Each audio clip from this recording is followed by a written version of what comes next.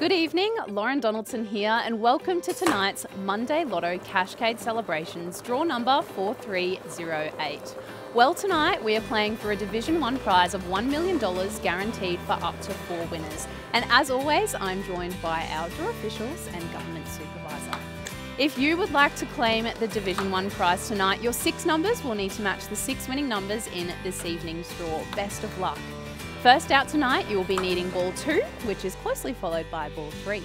Last week's Monday Lotto draw saw over 90,000 winning entries across Australia. My fingers are crossed for you to make some of your own dreams come true tonight. Well, to find out if your dreams will come true, you'll need number 34, which is followed by 35. Your next chance to play is this Wednesday with another Cashcade celebrations. Like tonight, if there's no Division 1 winner, a guaranteed $1 million is shared by all other winning divisions. You don't want to miss out on that. But to be a winner tonight, you'll also be needing ball 4 and ball 37. Now let's recap those numbers. We have 2, 3, 34, 35, 4, 37 and our supplementary numbers tonight are ball 28 and ball 41. Remember you can also check your entry in store, online or via the app. Congratulations and have a wonderful evening.